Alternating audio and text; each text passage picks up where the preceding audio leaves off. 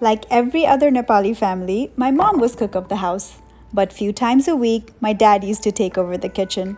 And those were my favorite days.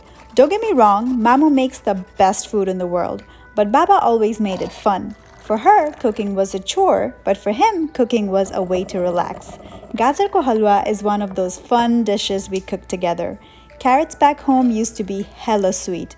We took turns shredding the carrot and deep frying till it looks golden.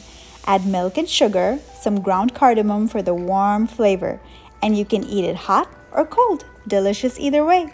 Don't forget to top it off with 11 pistachios. Happy cooking, Mailu!